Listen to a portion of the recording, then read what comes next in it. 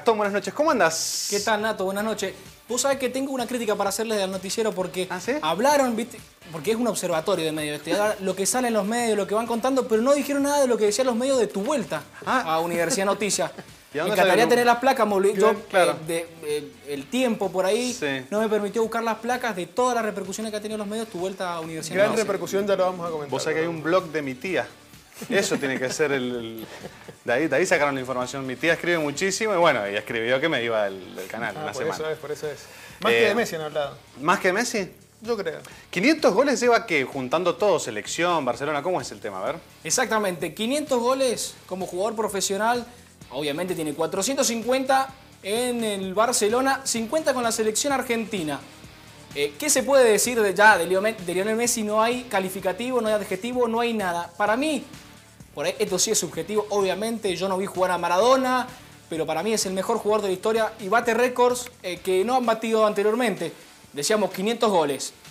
Y como sé que a vos, Nato, te gustan las estadísticas Sí. y te gustan por ahí eh, jugar con eso de las estadísticas, te propongo que repasemos algunas estadísticas que tienen que ver en la, de la forma en que se hicieron los goles. Y no admito preguntas, ¿eh? lo digo por... porque Ah, bueno. si ya empiezan con preguntas, eh, hay muchas estadísticas y podemos preguntar mil cosas. Como sería, por ejemplo, cuántos hizo de penal, por ejemplo. Claro, exactamente.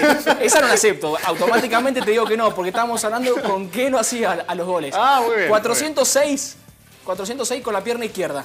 Ah, ¿Sí? bueno, es zurdo. Es zurdo. Ah, bien. Está bien. Está bien. 71 con la pierna derecha. Yo soy, por ejemplo, yo para jugar al fútbol soy zurdo. Debo tener tres palos. Sí, tres Ningún palos, gol. un travesaño y una fuera. Sí, más o menos. Ok, un lateral.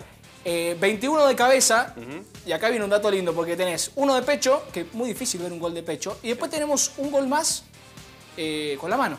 No sé si se acuerdan, hace varios años atrás, contra el español, un gol muy parecido al de Maradona con la mano. Bueno, Messi ha hecho 500 goles en la era profesional, que realmente bate récords, como decía recién, que no han batido antes. Si uno se pone a analizar en cuanto a, los, eh, a la historia de los, digamos, el resto de los máximos goleadores, tiene 14 jugadores por delante de él.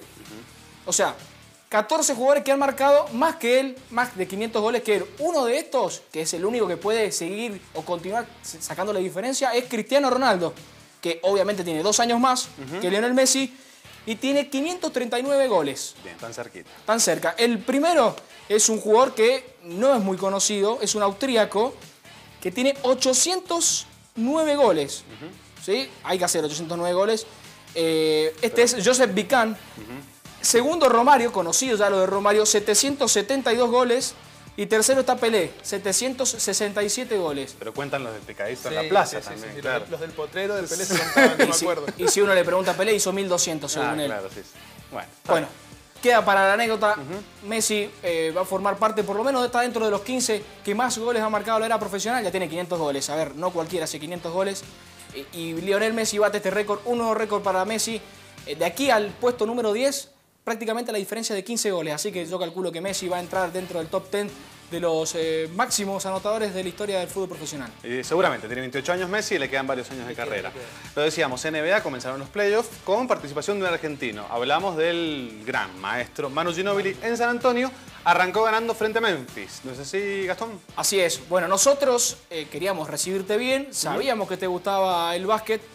Yo hablé, obviamente, previo a esto con Gerardo, dijimos, le damos una buena bienvenida, ponemos básquet, NBA, ¿sí?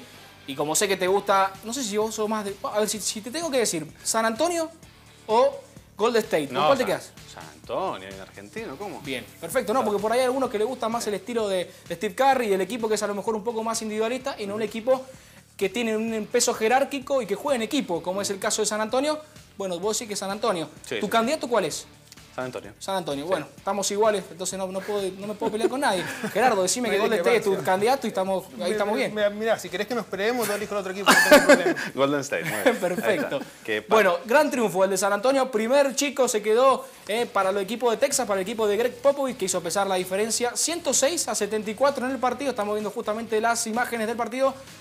Si uno analiza en cuanto a las estadísticas, que también sabemos que nos, que nos gusta por ahí tirar estos datos, 20 puntos el máximo anotador, Leonard, ¿sí? Pero vamos a pasar al que nos importa porque es Emanuel Ginóbili, más de 20 minutos en cancha, 2 puntos, 7 rebotes y 3 asistencias para el bayense que bueno, siempre es una fija y es un jugador que realmente marca diferencia, más que nada de, de esto, desde la parte más eh, del juego en conjunto y lo ha mostrado, obviamente ya tiene varios anillos en su haber y, y es uno de los referentes de, de San Antonio por lejos.